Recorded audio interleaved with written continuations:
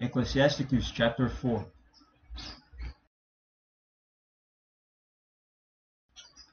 My son, defraud not the poor of his living, and make not the needy eyes to wait long.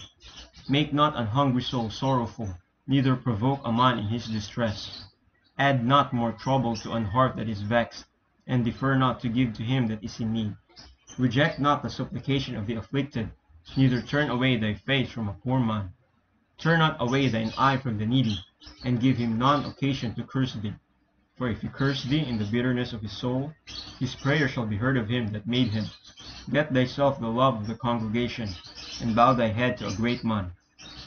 Let it not grieve thee to bow down thine ear to the poor, and give him a friendly answer with meekness.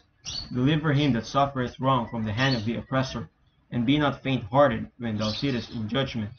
Be as a father unto the fatherless, and instead of an husband unto their mother so shalt thou be as the Son of the Most High, and he shall love thee more than thy mother doth.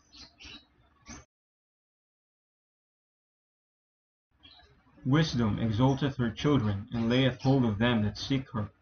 He that loveth her loveth life, and they that seek to her early shall be filled with joy. He that holdeth her fast shall inherit glory, and wheresoever she entereth, the Lord will bless. They that serve her shall minister to the Holy One, and them that love her the Lord doth love. Whoso giveth ear unto her shall judge the nations, and he that attendeth unto her shall dwell securely. If a man commit himself unto her, he shall inherit her, and his generation shall hold her in possession. For at the first she will walk with him by crooked ways, and bring fear and dread upon him, and torment him with her discipline, until she may trust his soul, and try him by her laws.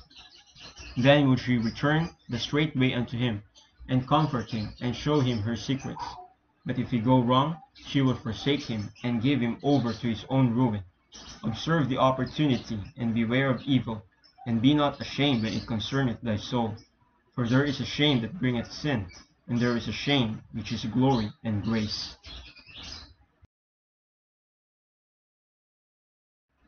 Accept no person against thy soul, and let not the reverence of any man cause thee to fall.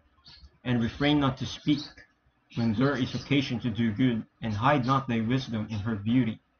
For by speech wisdom shall be known, and learning by the word of the tongue. In no wise speak against the truth, but be abashed of the error of thine ignorance.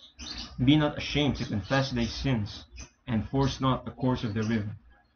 Make not thyself an underling to a foolish man, neither accept the person of the mighty. Strive for the truth unto death, and the Lord shall fight for thee. Be not hasty in thy tongue, and in thy deeds slack and remiss. Be not as a lion in thy house, nor frantic among thy servants. Let not thine hand be stretched out to receive, and shut when thou shouldest repay.